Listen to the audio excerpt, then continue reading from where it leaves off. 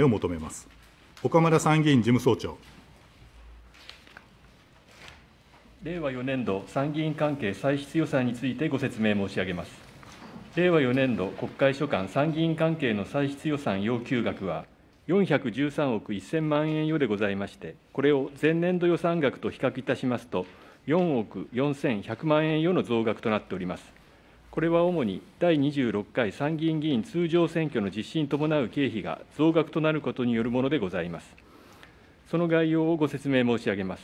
まず、国会の権能行使に必要な経費として、246億9400万円余、参議院の運営に必要な経費として、154億9200万円余を計上いたしております。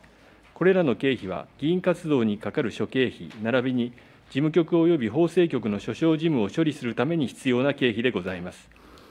次に、参議院施設整備に必要な経費として、11億1800万円を計上いたしております。この経費は、議事堂本館等の施設整備に必要な経費でございます。最後に、国会予備金に必要な経費として500万円を計上いたしております。以上、令和4年度参議院関係歳出予算の概要をご説明申し上げました。よろしくご審議のほどをお願い申し上げます。次に、国立国会図書館関係関係予算の説明を求めます。吉永